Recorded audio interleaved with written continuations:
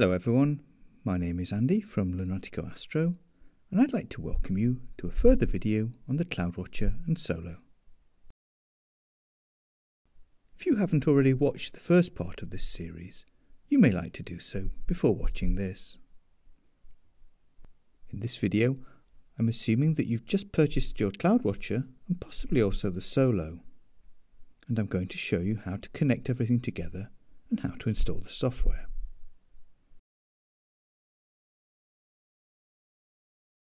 When you unpack your CloudWatcher, depending on the version that you ordered, it will probably look something like this. A couple of things to note before we get going. The CloudWatcher is designed to be exposed to the elements, and so we've taken some precautions to protect the rain sensor and to keep the unit watertight. Please don't attempt to remove either the sealant or the coating on the sensor.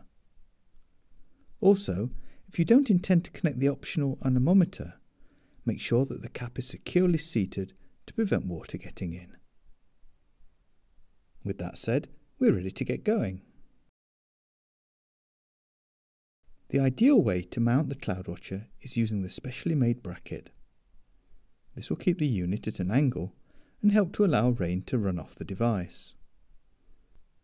As you can imagine, the sensor needs time to dry out once the rain stops.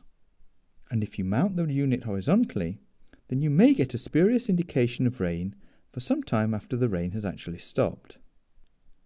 In the same way, if you mount the unit vertically, it may look very tidy, but you won't get very much useful information, as it won't be able to measure any rainfall or see the sky with its cloud sensor. Once in place, we now have to connect one end of the supplied cable to the CloudWatcher and run the other end into the observatory. As you can see, one end of the cable has a weatherproof plug, and this is the outside cable. If you've purchased the anemometer and or the RG9 Hydreon rain sensor, then you'll want to connect these as well. Once you've finished, the installation should look something like this. The steps we've taken so far are the same for all three versions of the CloudWatcher, with or without the Solo. To continue our setup, let's go into the observatory. By now, you've no doubt noticed that the CloudWatcher ships with an RS232 plug at the observatory end. If you purchase the Solo, then you simply need to connect the plug to the socket on the underside of the Solo.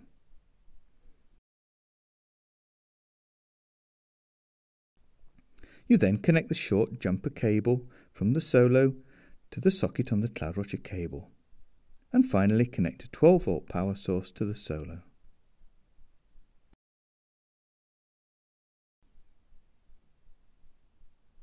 Remember, the Solo is intended to live inside the observatory. The casing itself is weather resistant, but the connections on the underside should definitely be sheltered from the elements. But what if you don't have a solo? Well, if you are lucky, then you might have an RS232 socket on your PC, although they are very rare these days.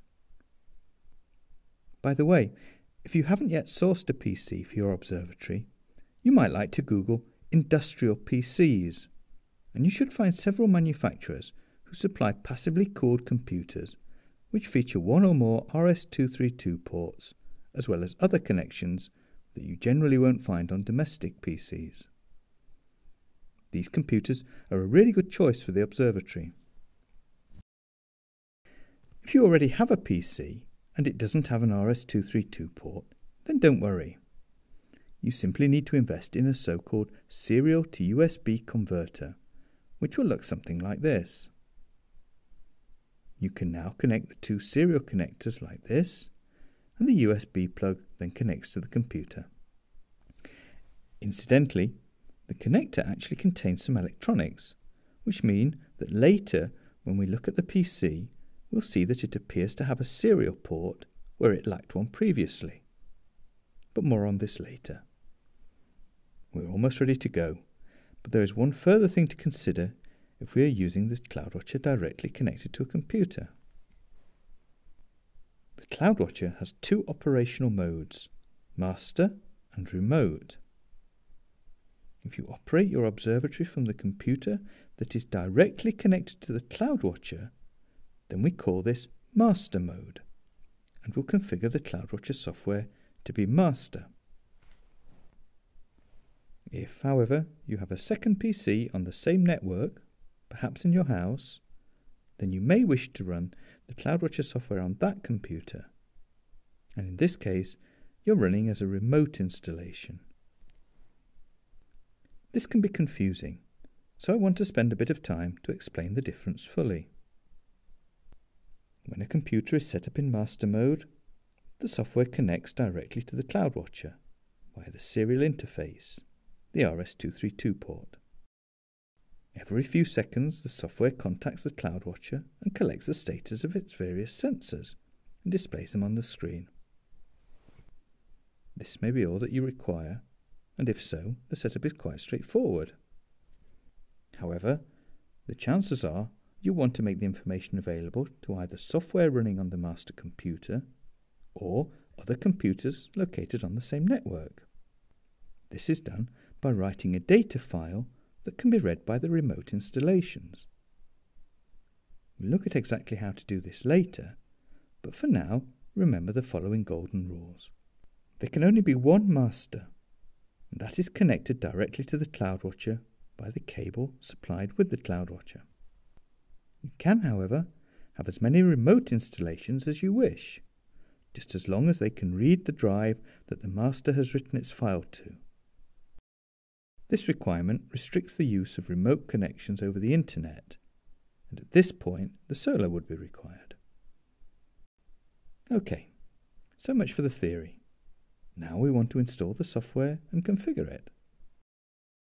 I'm going to start by loading the latest software from the Lunatico website at www.lunaticoastro.com. I go to Support, Documentation, CloudWatcher, and Software. Here you'll find the latest version. I'm going to download it, locate the file, and double click to start the installation. Occasionally, depending on your Windows version, you may get an error message. In this case, you might have to right click and select Run as Administrator. You can also download the software from our forum by simply clicking on the latest version on the list of CloudWatcher subforums.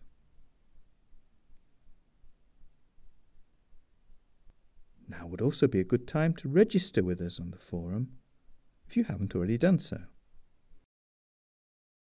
The program installs to the default location on your C drive.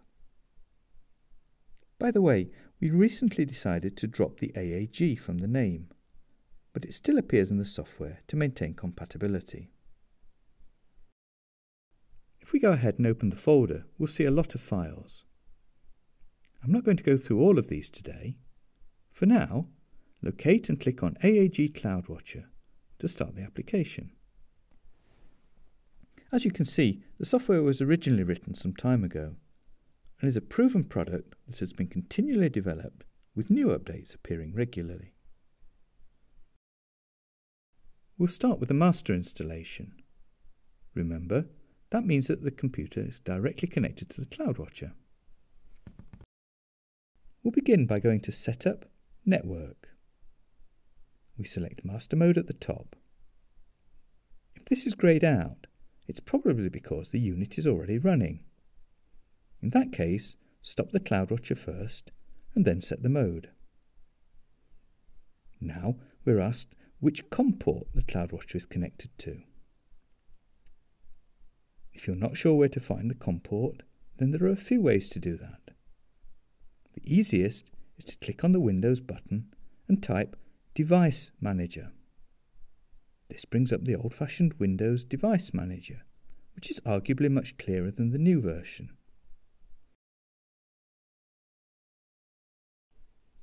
Look for the COM port and if you're using a serial to USB adapter, then this will almost certainly be the only device connected. Otherwise, you may need to take a note of which COM ports are active and try each one. We select the COM port and press Test to make sure it's working. It is, and so we can move on. The next thing we need to do is set the output paths for the data files.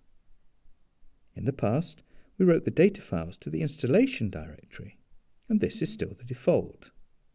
However, recent Windows versions have added security features that no longer permit applications to access this folder. As a result, we need to find a new writable location for the files. For simplicity, I'm going to write the files to the desktop, but you will probably want to write them to another location, such as perhaps your Documents folder. A bit of trial and error may be required depending on your setup and preferences.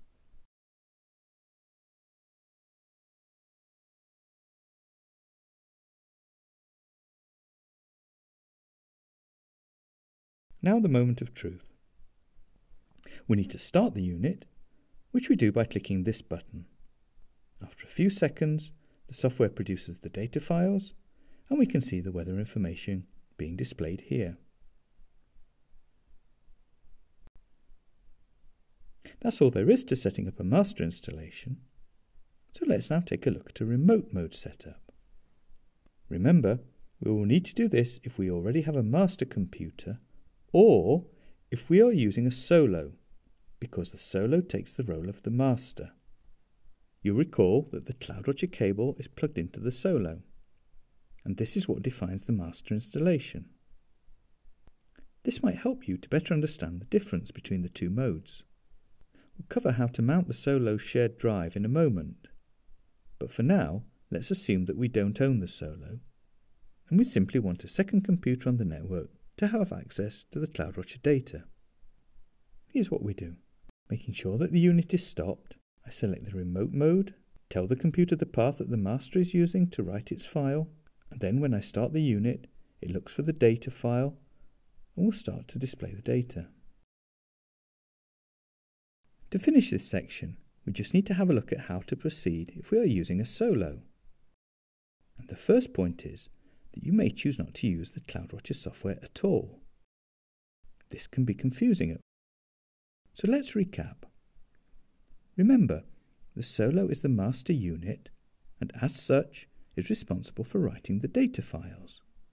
Other applications, such as your imaging software, will take their information from there and we will view the weather data by the much more attractive web front end. If you still wish to install the CloudWatcher software for whatever reason, then you can certainly do so, but it's not essential. What is necessary is to mount the Solo shared partition in order to make this available to your imaging software, other applications, or computers on your local network running the CloudWatcher software in remote mode. To do this, I go to the Windows Explorer, click on your computer, in my case this PC, then go to Map Network Drive and type in backslash backslash AAG solo backslash AAG solo. Be careful to type backslashes, two at the start and one in the middle. The first AAG solo is the name of the solo on the local network. The second is the name of the shared drive. You can choose a drive letter or accept the default. If you've changed the name of the solo on the configuration screen, then the new name should appear after the two backslashes. The shared drive name remains the same. If you're still having difficulty, try using the local IP address in place of the first AAG solo. Now you can see the shared drive mounted in the bottom left of the screen. You can see the various data files that are available for your CloudWatcher remote installation and also for your imaging software. To finish off this video, I'm going to connect the software as a remote installation and point the installation to the solo files.